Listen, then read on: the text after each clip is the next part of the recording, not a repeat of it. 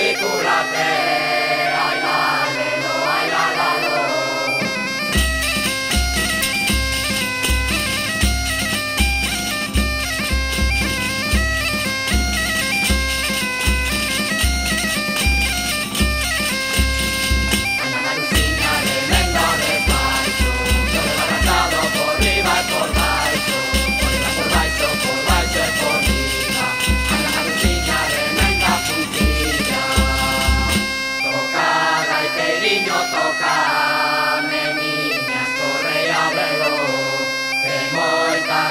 la gallina.